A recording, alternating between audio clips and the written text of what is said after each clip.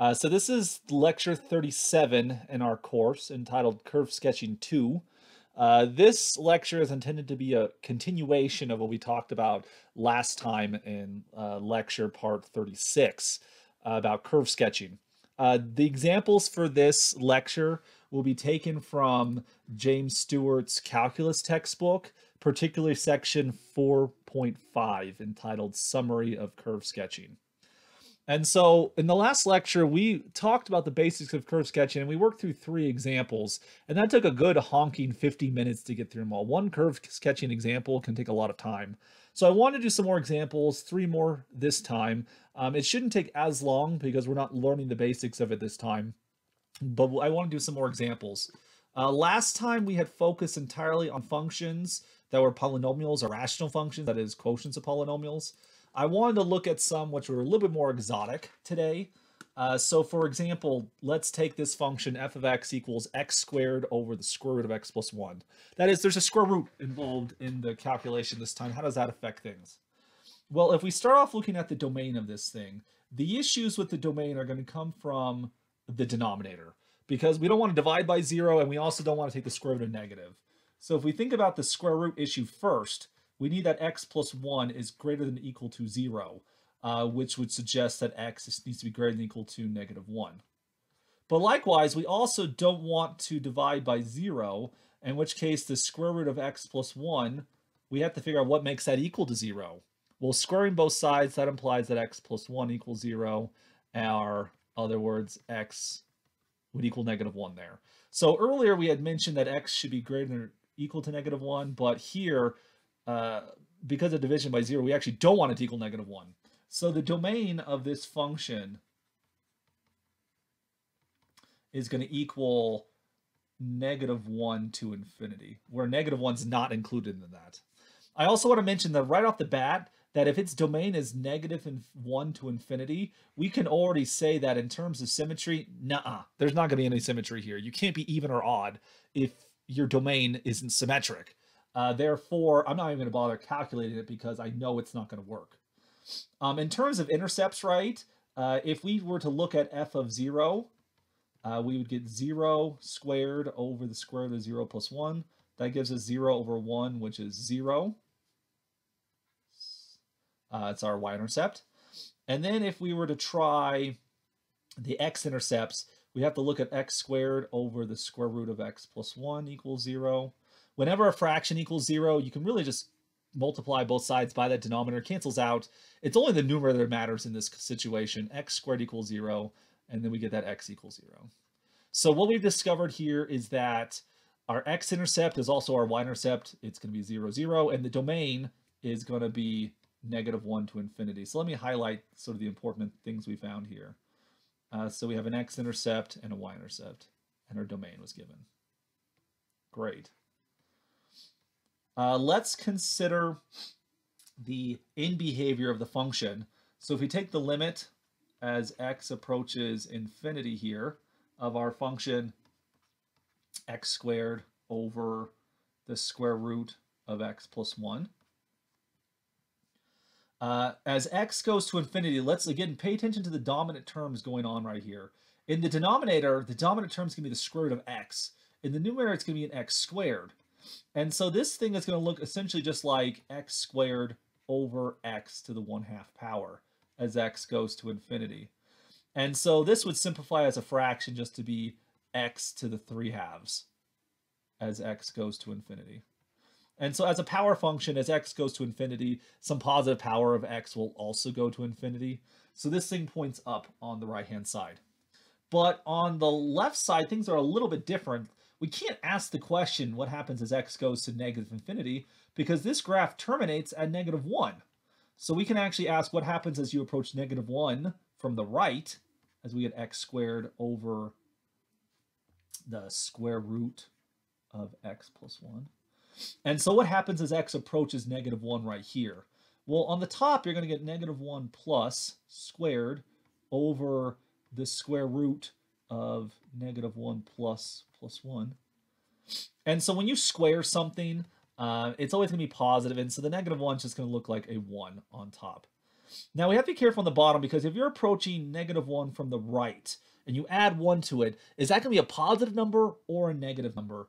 And it's going to be positive because uh, because we're, we're a little bit we're a little bit shy of negative 1 from the right. When you add 1 to that, that'll give you 0 plus on the right-hand side. We take the square root of that. Well, that'll simplify to be 1 over 0 plus, which looks like plus infinity. So it turns out that this is going to give us a vertical asymptote on the graph. And we're going to point up on the right-hand side as well. So let's record what we have so far on the graph. So we know that this function will go through the origin. It's its x and y intercept. We know that on the right-hand side, it wants to point up. Maybe I do a different color for that because we'll have to come back to this a little bit. We know it points up on the right-hand side. We also know how to vertical asymptote at x equals negative 1. So let's draw that. And so we also can see that this thing is going to be pointing up on the right-hand side. We'll come back to those a little bit later. Let me erase them for now. All right, so let's let's think about the derivative for a little bit. How, is the derivative going to affect things? Well, the original function, let me write it back on the screen so we can see it here.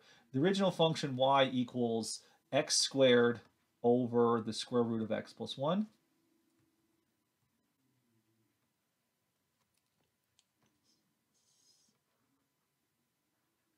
Uh, let's see, x plus 1.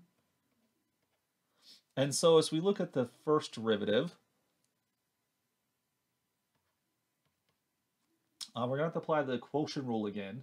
And I'm not going to go through all the details of calculating the derivative this time, just so you're aware. Uh, but if we if we take the derivative, we're going to end up with 3x squared plus 4x over 2 times x plus 1 to the 3 halves, like so. All right. And so there, there, there's some details to be there, and I apologize for not doing all the details there, but that's going to be the usual quotient rule type of thing. And so what we want to be looking for is when does this thing go to zero? Uh, that'll happen when the numerator goes to zero. So we're interested in 3x squared plus 4 equals 0. If you factor that thing, you can take out a factor of x. So you get 3x plus 4. When does that equal 0? And we can see that this will happen when x equals 0 and negative 4 thirds. Uh, we also have to worry about when the denominator goes to 0. And the denominator is going to go to 0. The 2 doesn't make much of a difference. Uh, the denominator will go to 0 when x plus 1 equals 0, which happens here at negative 1. Now, negative 1's outside the domain of this thing, so nothing's really too worried about right there. Uh, we need the second derivative, which again, you're going to excuse me, I'm just going to jump immediately to the derivative. Uh, use the quotient rule again on this thing above. And when you take the second derivative, you'll end up with a 3x squared.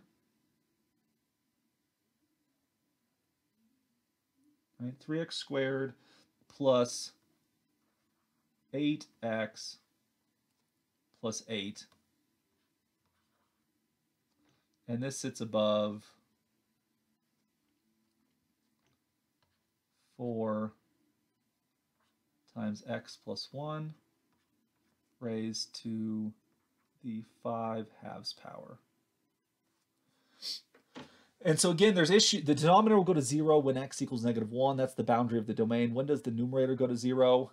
Well, the, new, the denominator won't make much of a difference there. We have to look at uh, look at the denominator there, the numerator there, excuse me. So we have 3x squared plus 8x plus 8. When does that equal 0? And when you try to solve this uh, quadratic polynomial, you could try to factor. It doesn't really work. You could use the quadratic formula, but it turns out that when this, when you try to solve for this, turns out it never actually equals 0. This thing is strictly positive. And so this tells us that the graph has no POIs. It'll be either always concave up or always concave down. Let's come back up here. And so if we build our sign chart, uh, the numbers that we should be interested in from what we looked at before, the second derivative never equal to zero. We had a single critical number at zero. And actually, I forgot to mention this earlier, because didn't we have two critical numbers, right? We had zero and negative four thirds. But remember the domain, right? The domain was negative one to infinity. Negative four thirds is outside of that domain. So we only have the one critical number at zero. So that's all we have to contend with when we look at the second derivative here.